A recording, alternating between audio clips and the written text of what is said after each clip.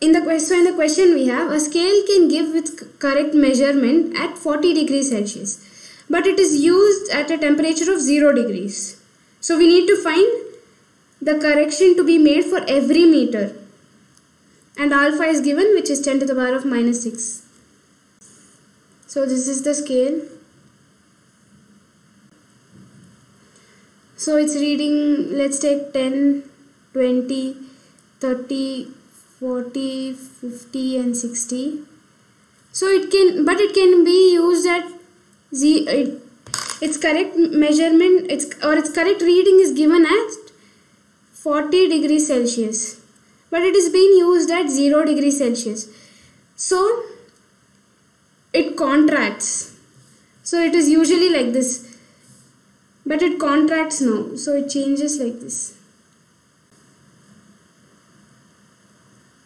Now 10 will come over here only and 20 will come over here. 30 will come over here. 40 will be over here. 50 will be over here. 60 will be over here. We can also get 70 now. 80 see now the change there is a change right? This is at 0 degrees. So now if you see if you take an object which is of length 30 units. This is the object. Here uh, okay wait 10 20 30 40 50 60 70 and 80 here its length would be 50 then because it the scale has contracted so it will show more reading. So this is the object so the the actual reading the actual reading?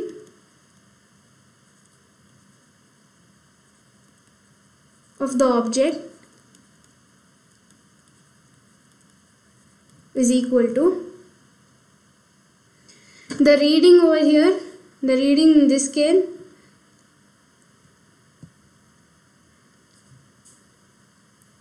its original length so the actual reading of the object is the original length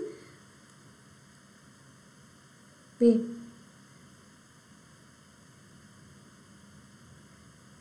okay. So the actual reading of the object is length minus here the object's length is increased minus the correction or the change or delta L. Here they are asking find the correction to be made. So we need to find delta L.